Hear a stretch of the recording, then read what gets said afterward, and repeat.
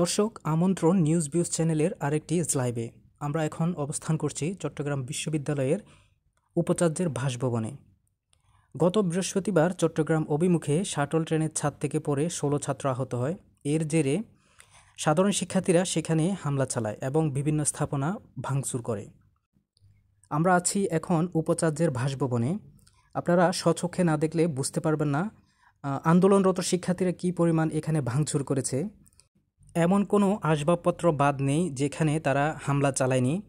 ঘরের দরজা, জানালা থেকে শুরু করে সোফা এবং কিচেন রুম থেকে শুরু করে এমন কোনো কিছু বাদ নেই যেখানে তারা হামলা চালায়নি। দেখুন আপনারা কী পরিমাণ তারা এখানে হামলা চালিয়েছে এবং কী পরিমাণ ভাঙচুর করেছে। ঘরের একটা আসবাবপত্র তারা বাদ দেয়নি।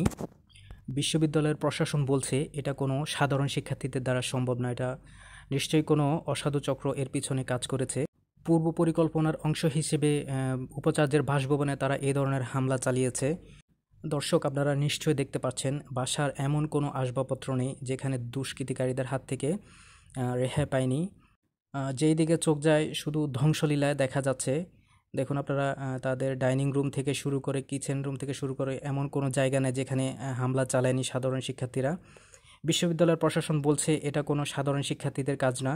এটা নিশ্চয়ই কোনো একটা উগ্রপন্থী ভিতরে, উগ্রমহল এখানে কাজ করেছে, যেটা পূর্ব পরিকল্পনার ক্ষোভ তাদের প্রকাশ করেছে এখানে।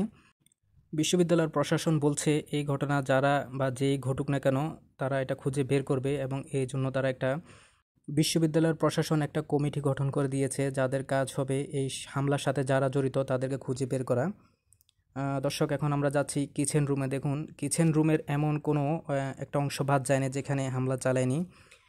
ফ্রিজ এসি থেকে শুরু করে এবং বাসার আসবাবপত্র যা আছে, কোনো কিছুই রেহাই পায়নি হামলাকারীদের হাত থেকে।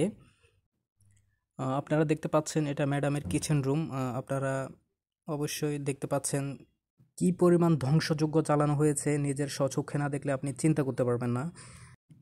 পুরো বাসা জুড়ে আমরা দেখছি ভয়াবহ হামলার চিত্র। যেদিকে চোখ যাচ্ছে, শুধু ভয়াবহতা দেখা যাচ্ছে। এটা হচ্ছে ম্যাডামের কিচেন রুম কিচেন রুমেরও একটা কোনো অংশ বাদ যায় না, যেখানে তারা হামলা চালায়নি। ফ্রিজ থেকে শুরু করে ফ্রিজ এসি ফ্যান এবং প্লেট কোনো কিছুই তারা বাদ দেননি। সব কিছু তারা ধ্বংস করে ফেলেছেন। শুধু আবাসিক ভবন নয়, তাদের হাত থেকে বিশ্ববিদ্যালয়ের যানবাহনও রক্ষা পায়নি। তারা বিশ্ববিদ্যালয়ের প্রতিটি যানবাহনে হামলা চালিয়েছে। বিশ্ববিদ্যালয় প্রশাসন বলছে তারা প্রায় পঞ্চাশটির মতো যানবাহনে ভাঙচুর করেছে, যার ক্ষতির পরিমাণ কয়েক কোটি টাকা। বিশ্ববিদ্যালয় কর্তৃপক্ষ বলছে এটা ছিল এ যাবৎকালে বিশ্ববিদ্যালয়ের সবচাইতে বড় ক্ষয়ক্ষতির পরিমাণ। তাদের হাত থেকে কোনো যানবাহন রক্ষা পায়নি। তারা বিশ্ববিদ্যালয়ের ক্যাম্পাসে যতগুলা যানবাহন পেয়েছে, প্রতিটা যানবাহনে তারা ভাঙচুর চালিয়েছে। ক্যাম্পাসের দায়িত্বরত স্টাফদের সাথে কথা বলে আমরা জেনেছি তারা একটা সংঘবদ্ধ চক্র মুখে মাস্ক পরে তারা এই হামলা চালায় এবং এটি পূর্ব পরিকল্পনার অংশ হিসেবে তারা ধারণা করছেন।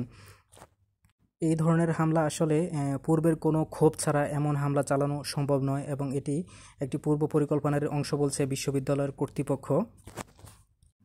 চোখ যেদিকে যাচ্ছে শুধু ধ্বংসযোগ্য চোখে পড়ছে। বিশ্ববিদ্যালয়ের এমন কোনো স্থাপনা, যানবাহন তারা রাখেনি যেখানে তারা হামলা চালায়নি।